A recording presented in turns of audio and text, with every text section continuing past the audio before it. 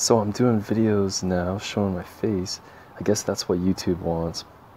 I'm not really sure.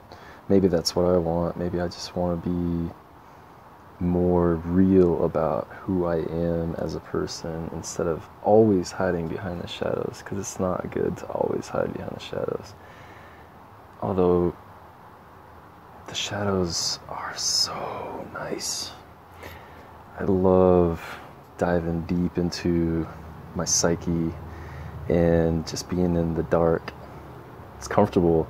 Like I used to hide inside of boxes and stuff when I was a kid. You know, just playing inside of tunnels, sleeping bags. And even now, me and my kids play this game where we pretend to be foxes and we put a bunch of blankets on our bed and we dig into these holes. And then, as you dig into the holes, you end up in these little dens and these dens are your little home and so we visit each other.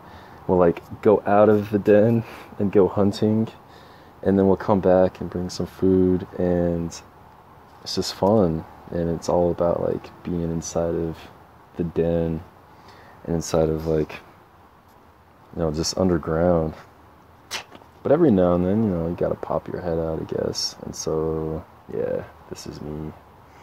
So anyways thought I would just say that and I'd say peace to you.